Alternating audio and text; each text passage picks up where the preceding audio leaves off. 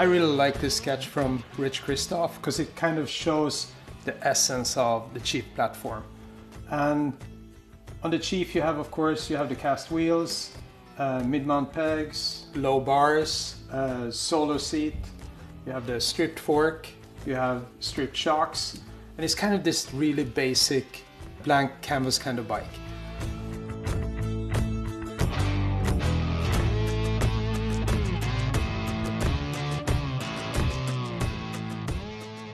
Customizing being such an important part of the whole project. I mean, I, I constantly kept repeating customizing is key. Uh, of course, we constantly did sketches of customized versions, like turning turning up the volume for different eras or different styles to see if the, the, the bike would work like that. Um, like this one, you know, it has our accessory uh, mufflers, but with old school tips. Uh, we have a lower bar on it, uh, the floating solo seat. You put a different paint job on it, and boom, the bike is. It really feels, uh, you know, late 40s, like cut down bobber. You know, you really have that kind of style. Or if you want to go a little bit forward and you know, like um, late 50s, early 60s, you know, you put a flame job on that bike, you add some more chrome, another set of accessory uh, mufflers and tips. You have our floating solo seat, maybe different upholstery, uh, maybe add some thin uh, white wall stripe tires, and all of a sudden you have again a yet another totally different flavor. And and this is kind of the essence of the whole customizing is key. Like you add those little elements, you turn some knobs, and you get just the feeling that the bike belongs in a different era or a different personality. You give it a different personality that really fits you, and that's what it's all about. You know, the perfect blank canvas.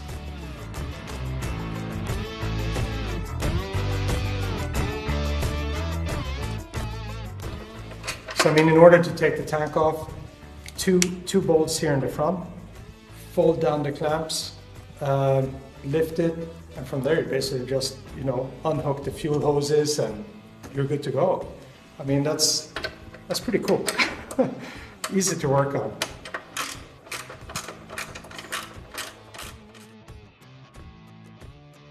tank is just attached in, with two bolts in the front, and once those are off, you can you can basically yeah just just flip it out, and and now you see how much work we actually put in on the on the back side of this. On the you know, you can take the tank off, and you're not going to get depressed. It's it's a nice clean steel frame.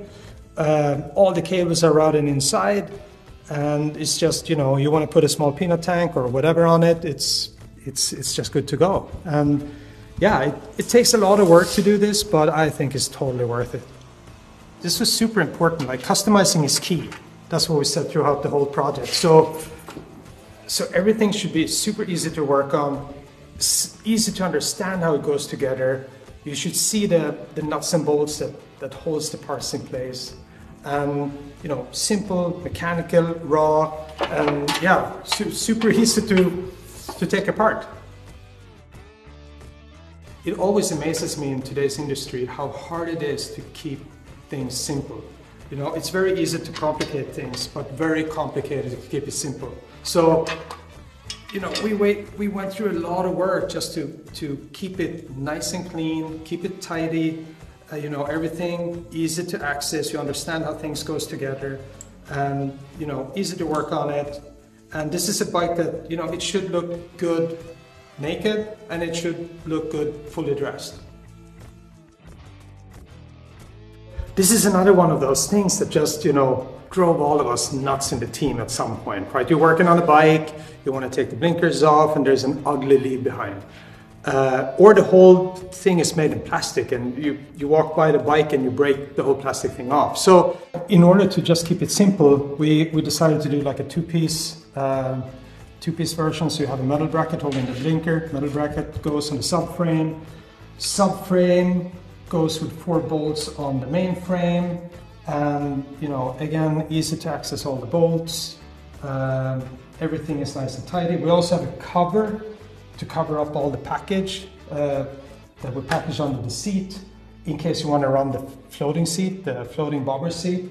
And we already prepared, so the brackets are already there and if you want that old school uh, floating uh, bobber seat look. So yeah, everything again, customizing is key. And the whole team came together, Ron, Brandon, and of course Rich, who, who was the principal designer of the bike. Everyone worked together to make sure that, you know, uh, yeah, keep it simple and customizing is key.